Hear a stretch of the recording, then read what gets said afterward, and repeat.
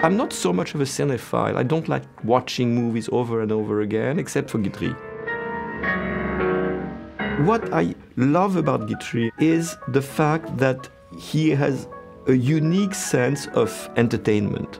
He has this lightness of touch, this gracefulness, which is constantly exciting.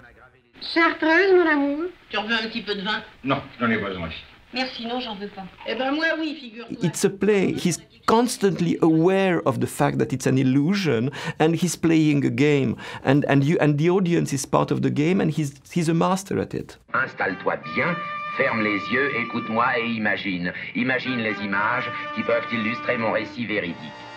I think Guitry is one of the most important French filmmakers ever. I think he's one of the inventors of French cinema. I think he's up there with Jean Renoir in the sense that they are two major artists who connect French cinema with a broader notion of French culture.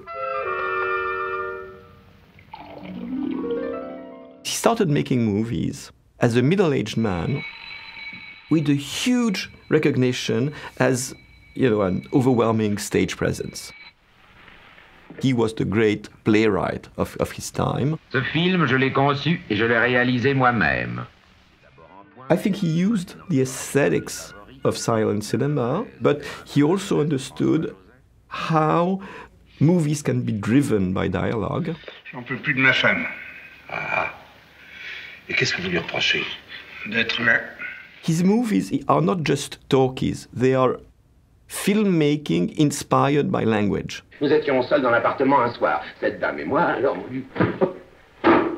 Ben voilà, qu'est-ce que j'ai eu. Tant pis, je l'ai dit. Even though he's revered in France, Guitry has never had the same status as Renoir because his movies have not traveled that much.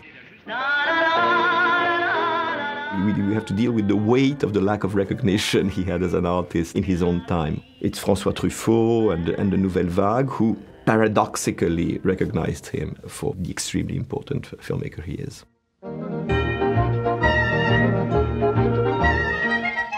The mastery of acting, of writing, of directing is pretty unique with Guitry.